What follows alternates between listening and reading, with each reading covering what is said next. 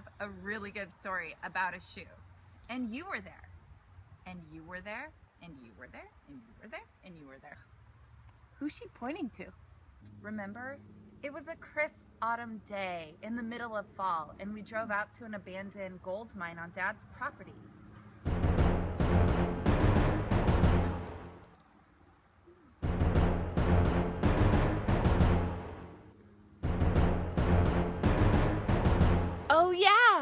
Remember. But didn't I have a mustache back then?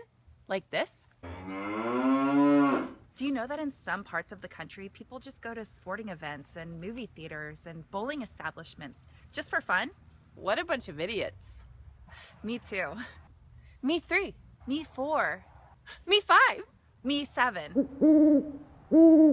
We were looking around the gold mine like, I ain't finding no shit, no nothing. And then suddenly, we found that boot. It was weird because usually you find two boots together. But no, not this time. We only found the one. Ooh, spooky. But then I picked up the boot and shook it like a Polaroid picture. No, you were shaking it more like a martini. Oh, yes, my signature move. But this time, the boot wasn't filled with ice and vodka. It was filled with bones. It had a boner. It wasn't the good kind of boner. It was the kind of bones from a human foot. Up until this point, the coolest thing I ever found in a shoe was a sock. And then we were like, well, what do we do? Look for the rest of the body? Because in science class, they teach us that the foot bone's connected to the leg bone, and the leg bone's connected to the shoulder bone, the shoulder bone's connected to the hip bone, etc.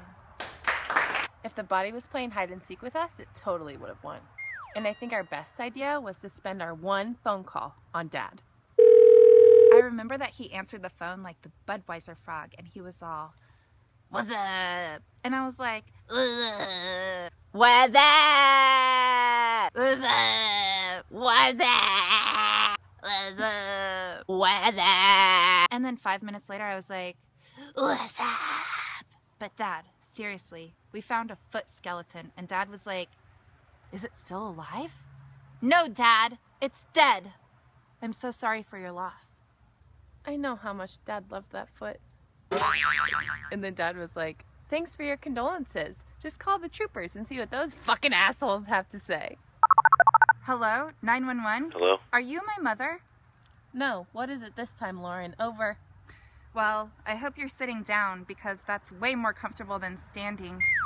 I was out on an abandoned gold mine with my favorite sister and my other sister, and we found a dead foot in the woods.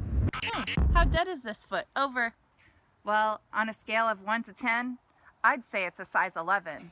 Hmm, well, how long has the foot been dead for? Over. By the looks of it, I'd say between 75 and 80 years. Well, nobody's reported a missing foot in the last 80 years, so you can keep it. Over.